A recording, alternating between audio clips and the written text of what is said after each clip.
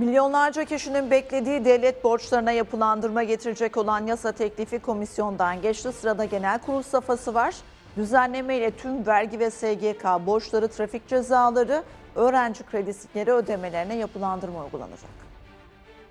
Cumhurbaşkanımız Sayın Recep Tayyip Erdoğan'ın müjdesi olan KYK, vergi, SGK, idari para cezaları gibi bazı kamu alacaklarının yapılandırılmasını öngörüyoruz. Geri sayım başladı. İğneden ipliğe tüm vergi borçları, para cezalarını yapılandıracak yasa teklifi genel kurulda görüşülecek. Kanun teklifimiz komisyondan geçmiş ve bu hafta genel kurulda görüşülmesi inşallah başlanacaktır.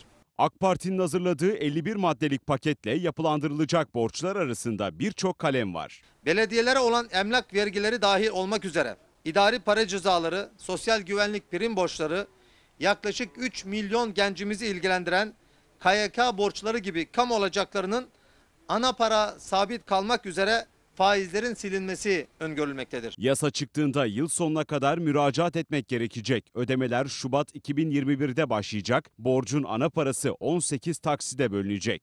Peşin ödeme durumunda ise işleyen faizler %90 oranında silinebilecektir. Daha önce yapılandırmadan yararlanan ve yapılandırması bozulan vatandaşlarımız da bu yasadan yararlanabileceklerdir. AK Parti Grup Başkan Vekili Cahit Özkan teklifin detaylarını paylaştı. Özkan üzerine basa basa uyardı. Paketle vergi affı söz konusu değil dedi.